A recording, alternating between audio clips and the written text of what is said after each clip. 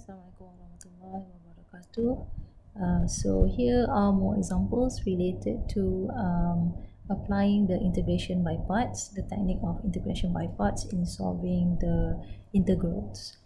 So the first one is uh, we have this function here, uh, e to the power of x, x squared dx. So, um, so we have this function and our job is to choose uh, what is u and what is dv so we're going to choose a simple one. Um, so here in this case I think the simple one is to choose u is equal to x squared.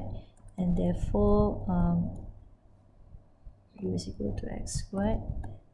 And I'm going to choose dv to be e to the power of x dx so based on that I know that du dx is going to be equal to 2x and for this one uh, if, if you integrate um, dv you find this one. So dv is ex dx.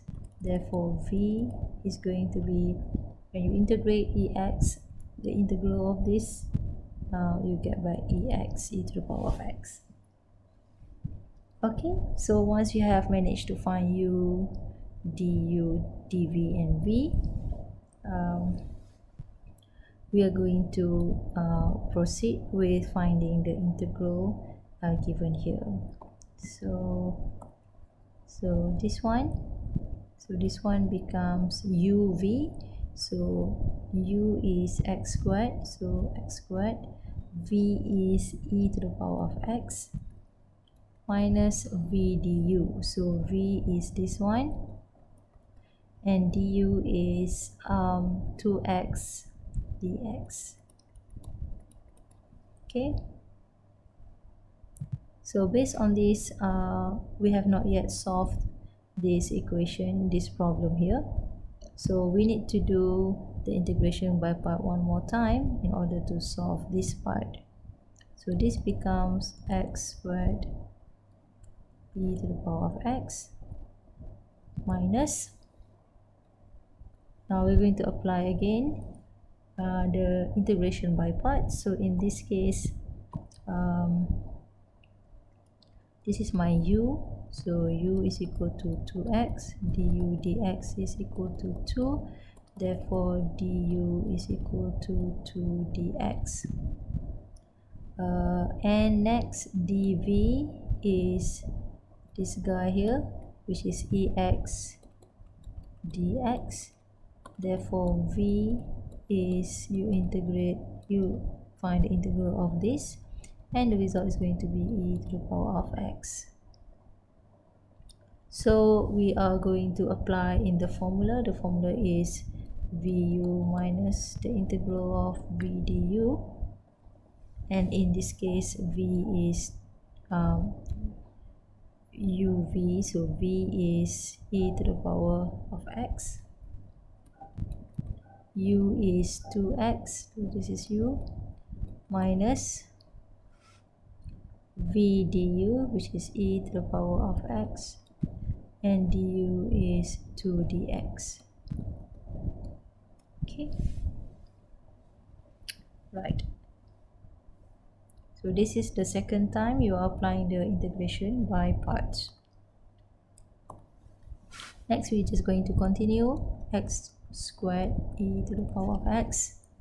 And over here I will have negative e x and 2x plus e x 2 dx okay so um, what we can do next is we just going to write this x squared ex minus um, 2x e to the power of x plus taking out the constant here dx dx. And that is just equal to um, 2 ex plus c1 I'm calling it c1 and then that can be simplified as x squared ex minus 2x e to the power of x plus 2 e to the power of x plus 2c1 and I can call this as x squared ex minus 2x ex plus 2 ex this one I will just name it as constant c okay so that's the answer to the first question. Okay right. Now let's continue to solve the last question.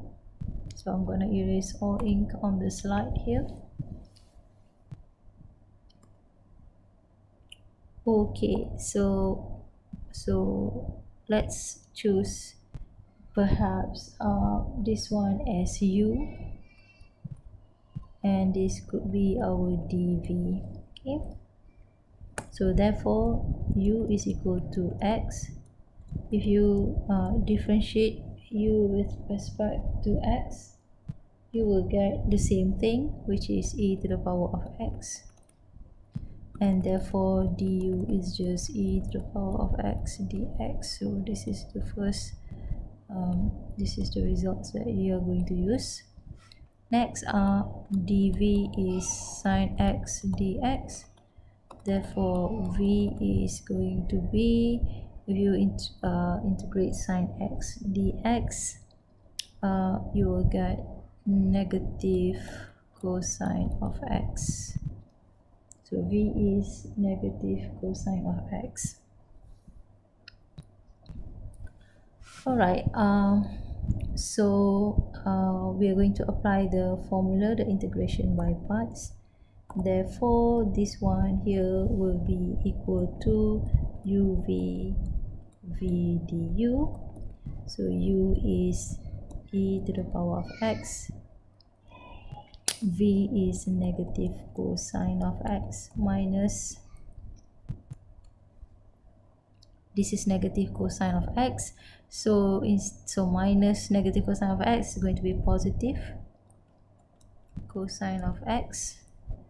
And du is ex dx so then it becomes negative cos x e to the power of x plus so this is cos x e to the power of x dx. And this is the result of this one this one. So i'm just going to write down here ex sine x dx okay? And obviously we are not done yet because there's nothing uh, that can simplify this integral. So we need to apply the integration by part one more time. Okay so we're going to apply integration by parts one more time. Um, so um, just going to write this in the box here. So now I'm just going to focus on this part. Okay I'm just going to focus on this part.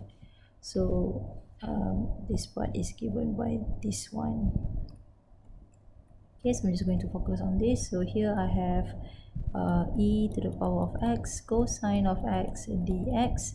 So I'm going to let u be e to the power of x. So this is the same the same idea that you have seen above. Therefore we know that du is equal to e to the power of x dx.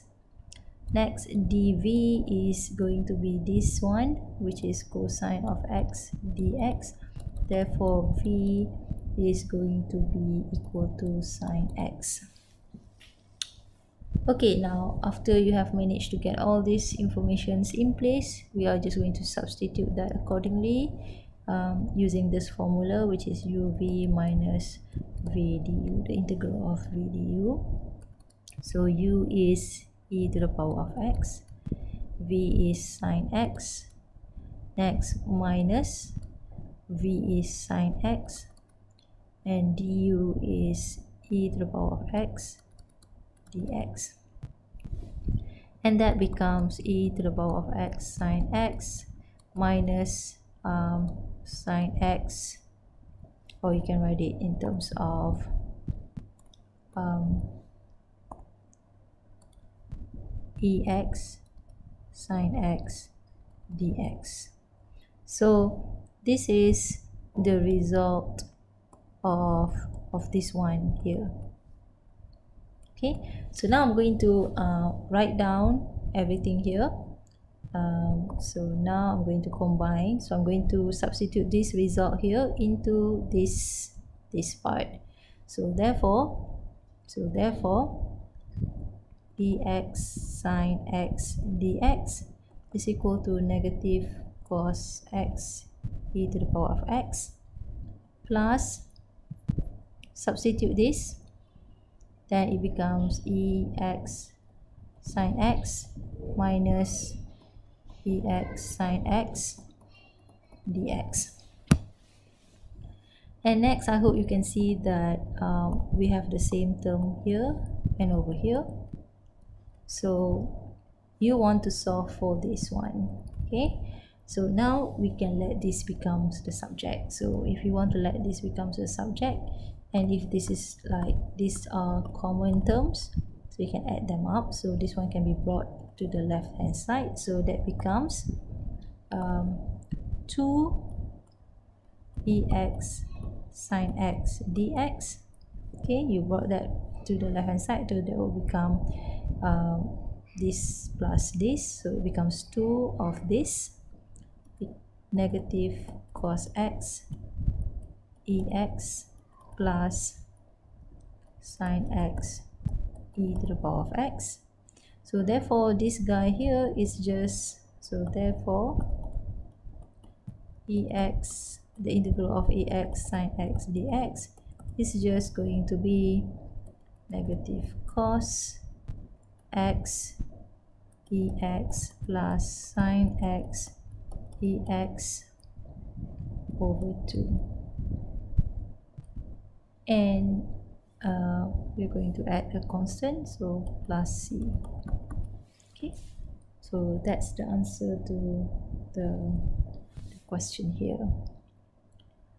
All right i think that's all for now. Thank you very much for watching